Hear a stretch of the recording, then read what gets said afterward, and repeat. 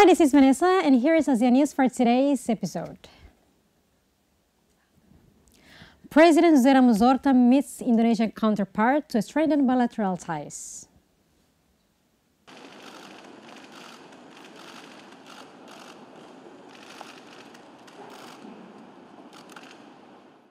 East Timor's President José Ramos Horta says during a visit to Indonesia, he hopes to boost trade ties between the countries and seal a decades-long bid by his nation to join ASEAN next year.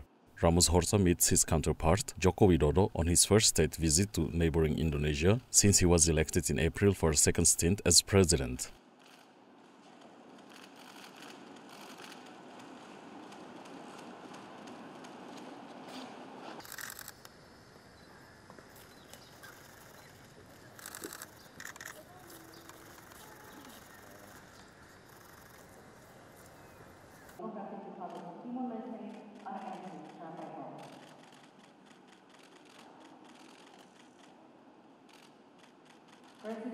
I'm very grateful that uh, Indonesia remains very committed to Timor-Leste membership in uh, ASEAN. Uh, as uh, very normal, uh, Timor-Leste is part of Southeast Asia. We have uh, fulfilled many, many of the requirements necessary for a functioning economy, a functioning democracy. So Timor-Leste will be productive member of uh, ASEAN. So we hope to join ASEAN by the, during Indonesian uh, presidency. The head state of Indonesia says during a meeting they focused discussion on bilateral cooperation, friendly, openly, and strength economic cooperation. merupakan kehormatan bagi Indonesia menerima kunjungan. It is an honor to receive the first overseas state visit of Ramos Horta. We were talking about our bilateral cooperation, friendly and openly. The commitment towards strengthening economic cooperation was the main focus of our discussion. First, we are agreed to keep increasing trade between the two countries by looking at the trend of trade development, which is looking positive. I'm sure trade between the two countries can be upgraded. Saya yakin perdagangan dua negara bisa terus ditingkatkan. Ramos Horta previously served as the president of East Timor, which is also known as Timor-Leste, between 2007 and 2012. East Timor, which applied for ASEAN membership in 2011, currently holds observer status. Speaking at the Presidential Palace in Bogor, south of Jakarta, the Indonesian president said his country has invested $818 million in East Timor, mainly in energy, banking, and communication business. Official Indonesia data shows trade between the countries was worth around $250 million last year.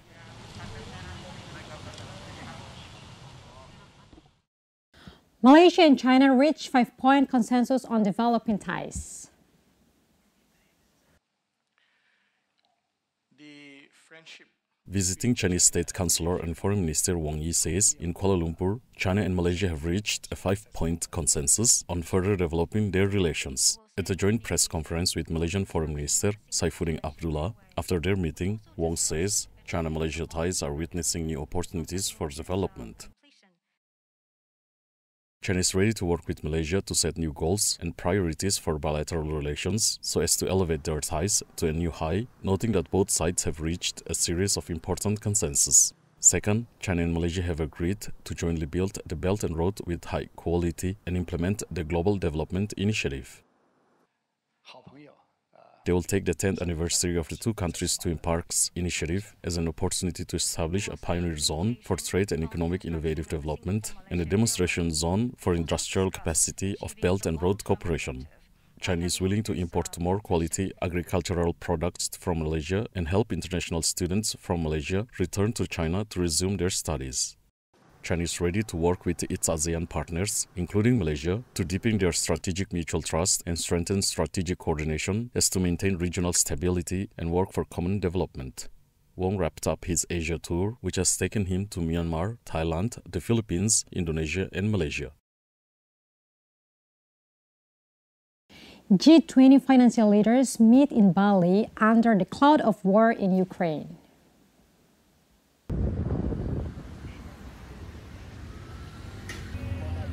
Indonesian Finance Minister Sri Mulyani Indrawati says G20 finance leaders to reach a consensus during talks in Bali, warning otherwise it could be challenging for low-income countries facing soaring food and energy prices.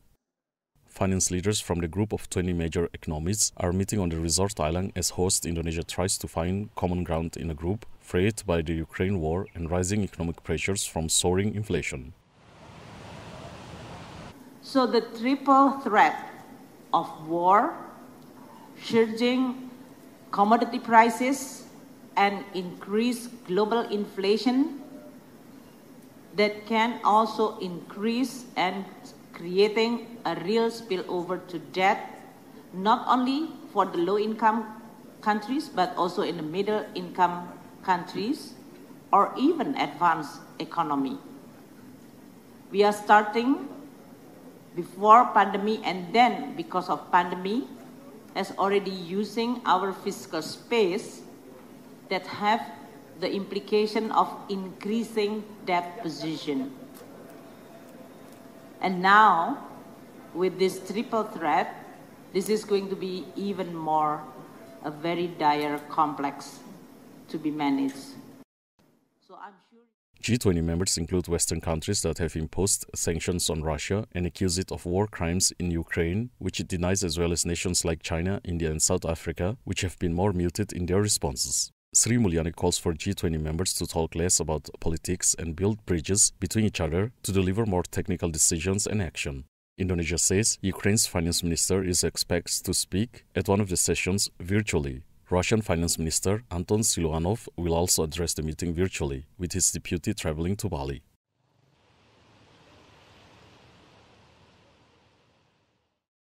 Janet Yellen urges the G20 to take action address the short-term food security crisis. The United States Treasury Secretary Janet Yellen says that when speaking in seminar on food insecurity in Bali, Indonesia, she urges a group of 20 major economies to take urgent action to address a short-term food insecurity crisis exacerbated by Russia's war in Ukraine and avoid market distorting export restrictions and stockpiling. We must take action to address the short term food insecurity crisis and, equally important, the longer term drivers of food insecurity, including the nexus with climate change. The speed and wisdom of our decisions now will make the difference on whether we get the crisis under control. We don't need new institutions. What we need is robust coordination knowledge sharing, research and development, financing, and action.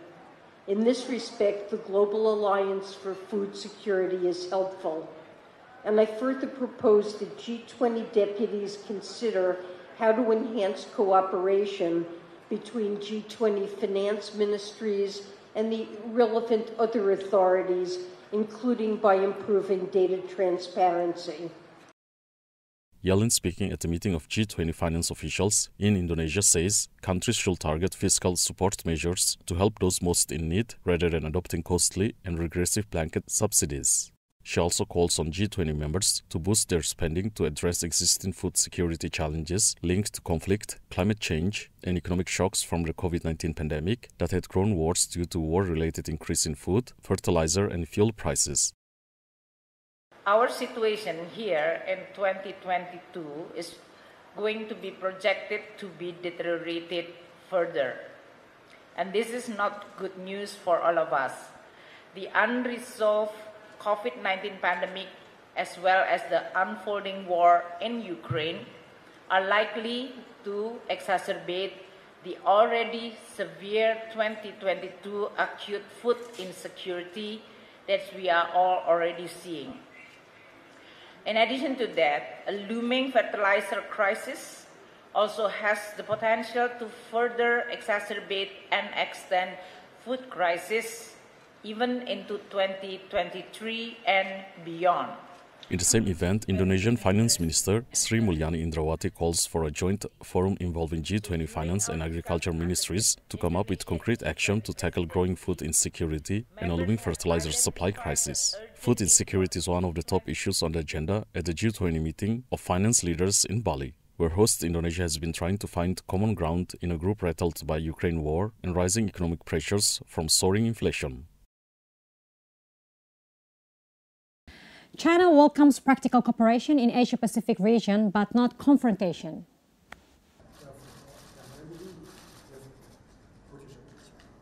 China welcomes practical cooperation in the Asia-Pacific region that is conducive to peace, stability, development, and prosperity, but rejects confrontation, formation of all small circles, and a new Cold War. Chinese and foreign minister officials have said in commenting on the latest diplomatic offensive launched by the United States in the Asia-Pacific region in efforts to contain China.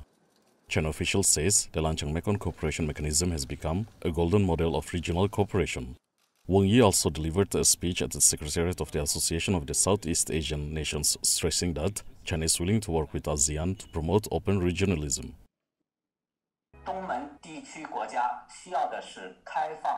What ASEAN country need is open, inclusive, heart-to-heart, mutually beneficial and practical cooperation, rather than small circles, a new Cold War, forced decoupling, or disconnection as carried out by some countries. China and ASEAN are each other's largest trading partners, with a bilateral trade volume 100 times that of 30 years ago.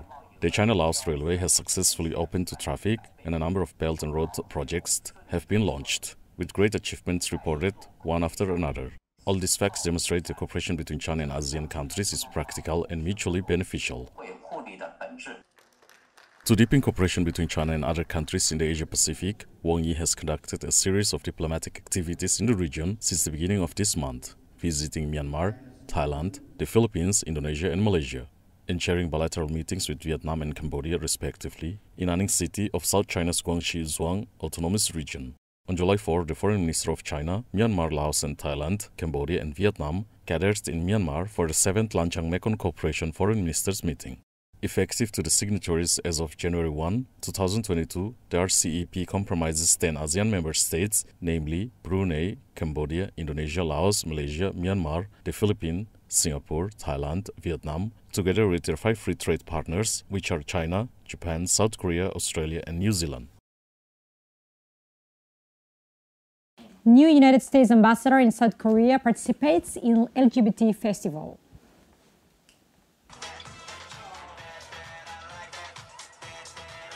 Thousands of South Korea take part in LGBT festival in downtown Seoul with the new United States ambassador to South Korea taken to the stage in support as conservative groups rallied in protest across the street. To express the strong commitment of the United States to ending discrimination wherever it occurs and to ensuring that everyone is treated with respect and humanity. We're going to fight with you for equality and human rights. Thank you. Wearing rainbow masks and waving flags, participants browsed some 72 booths set up by human rights groups, university LGBT clubs, embassies, religious and progressive organizations, taking part in face painting or social media events. Local media reports around 13,000 people had participated in the Seoul Queer Culture Festival by the afternoon. Due to the COVID-19 over the past three years, I couldn't go to many offline events, and it was even harder due to the stigma and unfair attacks on LGBT communities. But it's so nice to see people laugh and enjoy again.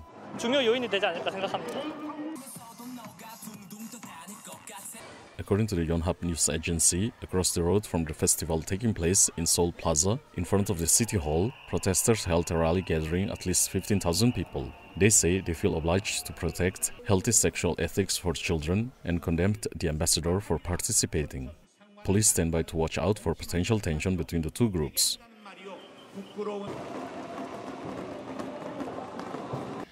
Well, that's the news for today. We will see you soon.